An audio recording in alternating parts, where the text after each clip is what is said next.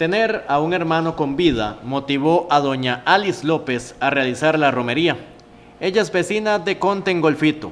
hago la romería por agradecimiento a Dios y a la Virgen porque ella me ha hecho muchos milagros.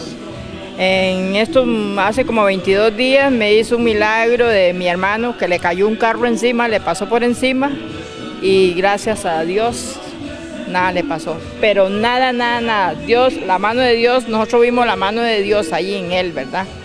Porque mi mamá lloraba mucho y muchas cosas, ¿verdad? Mi hermano ese también que le pasó el carro, estuvo, él tuvo allá en San José mucho tiempo y cuando lo traímos el doctor dijo que no había ninguna esperanza de vida. Entonces, eso yo, por eso yo camino, porque yo le agradezco mucho a Dios y a la Virgen. La fe la motiva para recorrer cientos de kilómetros llena de devoción, agradecimiento y peticiones. Sentimos cansancio, sentimos la mano de Dios que nos empuja, nos empuja, Él nos viene empujando, de una u otra manera Él nos levanta de ahí, porque hay veces uno siente, dice ya hasta aquí, ya no más.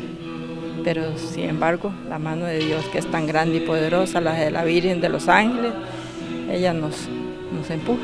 Desde todos los puntos de la zona sur, los romeros se recorren caminos y desafían el tiempo para llegar a una cita frente a frente con la patrona de Costa Rica.